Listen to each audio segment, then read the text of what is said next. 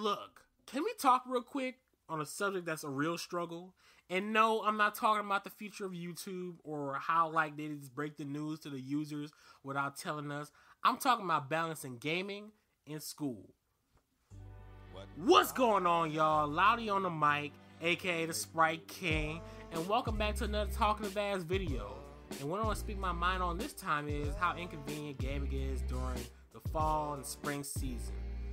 With so many games coming out for fall 2016 and many more in the year 2017, it's becoming a real struggle with a person like me who's in school and has responsibilities to be a gamer. I mean, I could flunk out or drop out, whatever you want, whichever way you want to put it, and have more time in my hands. But think of it this way: what, like, you know, say I'm with, say I'm with a chick. What kind of self-respecting woman wants to wants a man who dropped out of college? I repeat, what kind of self-respecting woman that decides to give herself to you? Like, what kind of person would she be if if I decide to stop pursuing my education to play video games. Like what? Look, look, look, listen. The point I'm trying to make is like you can't just drop games like Mafia 3, Deus Ex, Mankind Divided, Battlefield 1, Watch Dogs 2, South Park The Fractured But Whole, and the greatest banger of all, No Man's Skies.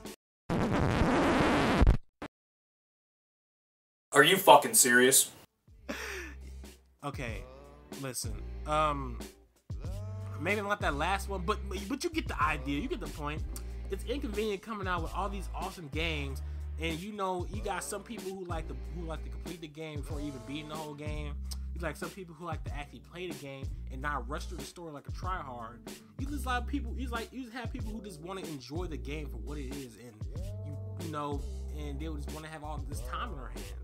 Like, look, I'm no gaming dev, but I do know one thing: you you gotta be a gamer to be a gaming dev, and every gamer knows that the summer is wide open to games.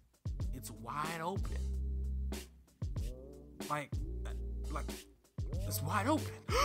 I know, right? Uh, I, just don't get it, man. It, that's the that's the one question I don't understand. Help me understand, gaming devs.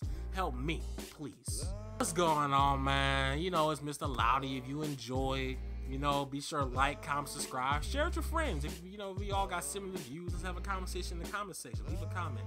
Uh, as always, links in the description of social media, like on Instagram, Twitter, Facebook, whatever. I don't know what else we'll put down there. You know, all kinds of stuff is down there. If you want to follow me, that's you know cool. I'm, you know, that'll be cool. And uh, see you on the next video. And um, yeah, bye.